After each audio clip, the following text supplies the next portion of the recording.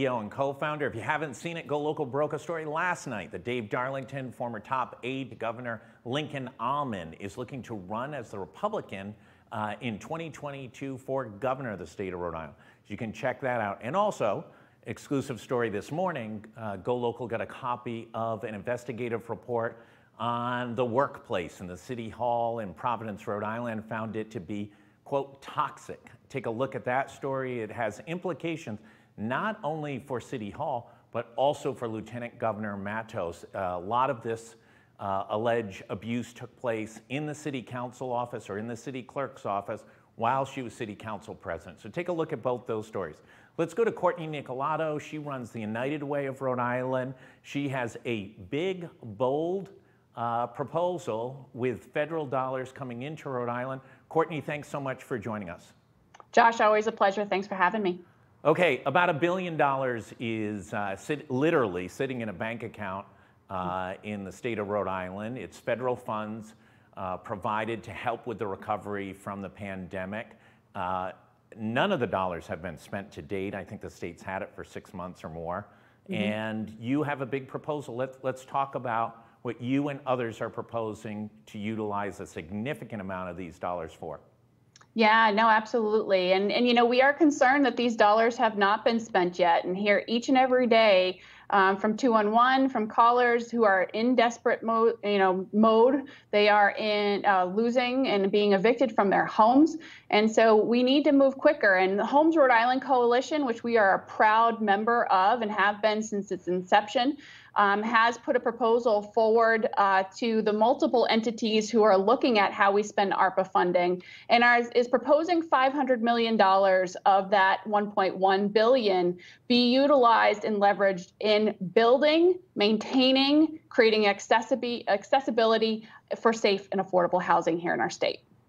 Uh, listen, you've been on before. We've written about it numerous times. Rhode Island has a listen. We, we've always had a housing crisis we really have a supercharged housing crisis. You've got a number of things taking place simultaneously. You've got a rapid increase in the median household price of a single family home. To give you an example, we're going to pierce $400,000. That knocks out about half of Rhode Island from being able mm-hmm. to afford uh, a single family home.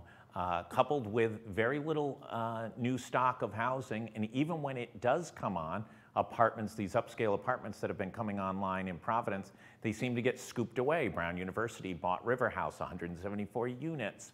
Uh, small apartments, micro apartments over at the arcade are now being turned into condos. So that's over 230, I want to say, uh, mm-hmm. units coming off the board. Talk about the, the problem.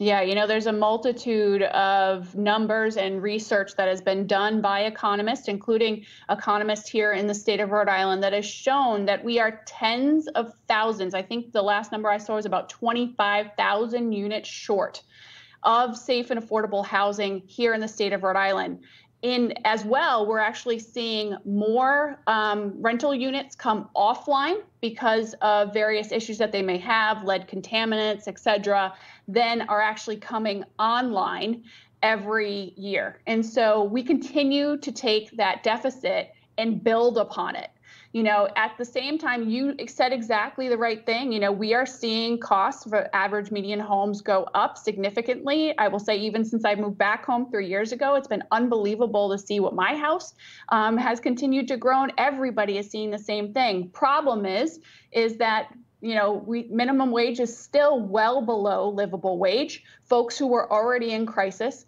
or close to crisis are now deep, deep, deep in crisis. We're seeing 400 Families, on average, every week be evicted from their homes and have absolutely nowhere to go. We're seeing homeless numbers skyrocket. And so, you know, as we think about safe and affordable housing and the building of safe and affordable housing, it brings jobs, it brings economic opportunity to our state, it brings additional tax revenue, and it helps ensure Rhode Island's stay Rhode Islanders stay in Rhode Island because housing is one of the major issues why we're seeing folks leave. And so, housing, in my opinion, is the fundamental, foundational element of our economic opportunity and mobility here in the state. And we have not given it the attention that it so it really truly deserves.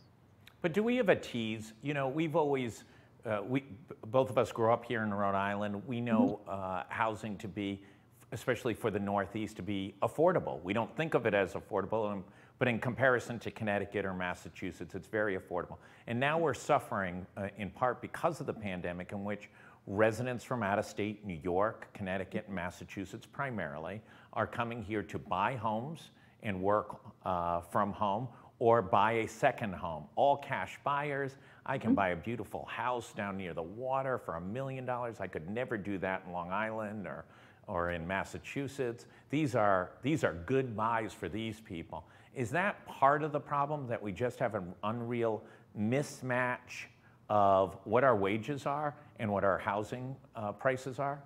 It's certainly part of it, and it's certainly a combination. Um, you know, when we think about luxury homes and ability for luxury homes, we find that, you know, you're right, folks from out of state are coming in. They are making Rhode Island their home. It is a beautiful place to live, and, uh, you know, there's lots of reasons why Rhode Island is a great place. The problem is when folks in luxury homes don't have places to go, they go and they have to downsize. And so they then have, you know, and then that uh, level and that tier has to continue to downsize. So it is this like vicious spiral downward. Um, and then we're finding more folks are sleeping in their cars, more folks are um, sleeping on folks' couches. Like this is, spot, you know, just skyrocketing all the way through. I think the other thing, you know, to mention is that they there is a, a rule in place or a law in place that says that as new development comes in, whether it's luxury or safe and affordable, that 10% of it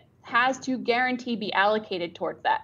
Unfortunately, not all um, zoning commissions and other groups are following that letter to the law we find, I believe there's only one community out of the 39 who is currently meeting the 10% threshold. It's a negotiation tactic, um, and you know it's great that we're building you know more uh, luxury homes and apartments and others, but that's not where we need it the most. We need it truly where folks who are working um, who are working multiple jobs. You know, the other thing I think about regularly is lower housing costs and affordability of housing, which means we'll have more disposable income in our state, which means we have more dollars to support local business. I will tell you, I, you know, living in Texas for 13 years, that was their philosophy. Their philosophy was to try to keep housing costs down, more disposable income, more money into the system, into the economy. And so, you know, we are losing out on that as well.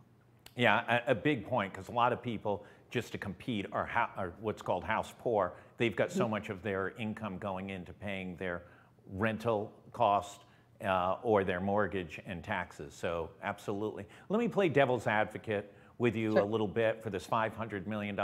It's half the money. I mean, we've got mm-hmm. problems in our healthcare system, we've got problems in our educational structure, we've got clearly problems in our economic development infrastructure, mm-hmm. we've got problems across the board.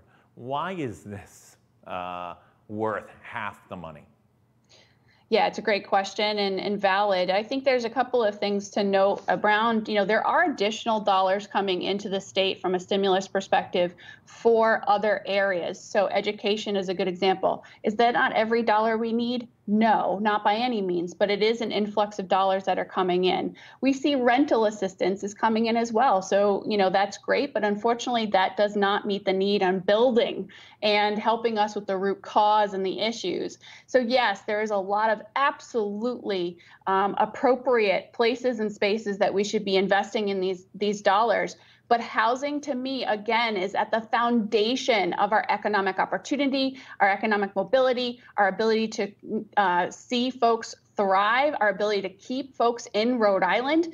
Uh, you know, this truly can be. And I will tell you, if you look at average cost per kid in education, if you look at average cost spent in many of the areas that you spoke to, the investment is higher than it is per capita in housing.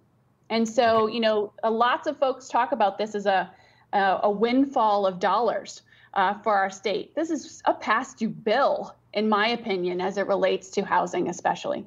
Okay, but the state did get $200 million in mm-hmm. rental mm-hmm. assistance dollars, and GoLocal flagged the problem, I think, before any of the national media of the, of the inability to get the dollars out. I think we wrote about it first in June. They'd only gotten Mm-hmm. $1 million out, that the dollars had actually been delivered in February.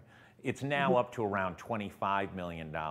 It's a fraction of the amount of money Rhode Island has access to. That's $175 million in housing money, especially since the president loosened the rules a few weeks ago in a press conference at the White House that gave the state and the landlords and the renters a lot more flexibility in how to collect the money and how the money could be used.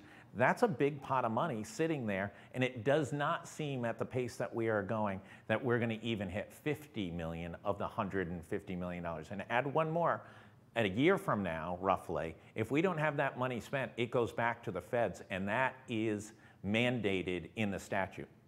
Yeah, correct. You're totally right. And I am deeply concerned that, and I think the last number I heard was about $30 million worth of rental assistance that's gone out. And I know that the team at Rhode Island Housing and their partners are moving fe- feverishly to try to get us to a place where more folks are having access. But unfortunately, it's not moving fast enough. And some of that is what Rhode Island is is putting together for documentation requirements that aren't aligned with the federal regulations. Um, we can't make this as even an ounce more difficult for folks to access uh, these critical dollars. But I think it's also important to note that rental assistance is critically, critically important, and I hope we use every last dollar that we have. But it is not the answer to the root cause. It is the band-aid that absolutely needs to be in place right now.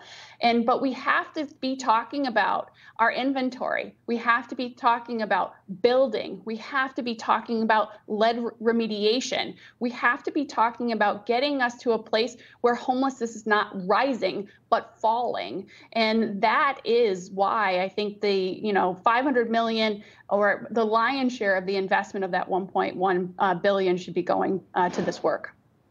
Cortney Nicolato, you get the last word. Uh, I know you've had lots of conversations with the governor's office and legislative leaders. What's that message that you're giving them right now?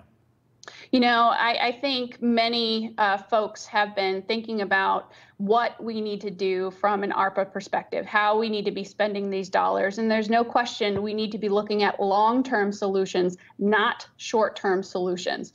You know, we have a number of areas, as you mentioned, housing, education, and others, where we have critical, critical issues and crises that need a long term vision that supersedes whoever is sitting in the elected official role. And so I think we need to stop looking and viewing what others are doing in community. Rhode Island, in fact, is last um, in uh, beginning to spend the ARPA dollars. We need to move forward and really truly create long term solutions um, and long term plans. Housing needs a long term plan.